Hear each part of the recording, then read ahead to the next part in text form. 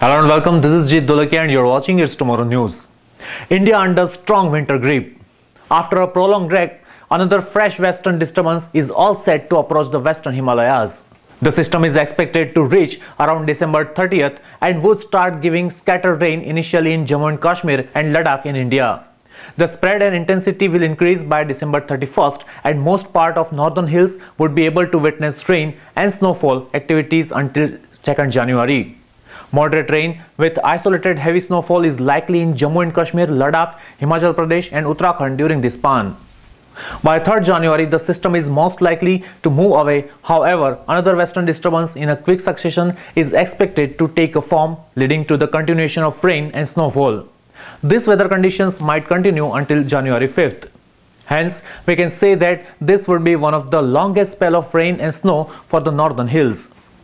Gujarat and its surrounding areas never have any rain activities during the month of December. Also, the weather is generally clear and pleasant in most cities of Gujarat at this time. However, this December saw wide fluctuations in temperatures across the entire Gujarat region. The minimum temperature in particular area has come below normal on several occasions. The reason for this change is rain and snowfall in the northern plains. After the snowfall over the hill states of North India, Gujarat and its surrounding areas are witnessing a drop in temperature due to the cold winds coming through there. According to experts, night temperatures have dipped in more places. Like it has reached below 10 degree in Kutch region which is not very common. While Nalia recorded a minimum temperature of 3.6 degrees Celsius this morning, the lowest in the state. The night temperature in Bhuj increased slightly compared to yesterday and it increased from 9 degree yesterday to 14.2 degrees Celsius.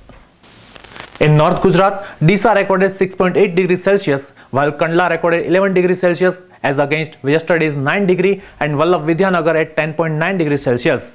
While the night temperature in Amreli was recorded at 9.6 degrees Celsius. That's all for now. For more news updates, stay tuned with us. It's Tomorrow News, Jeet Dolakia. For more weather updates like this, please subscribe to our channel.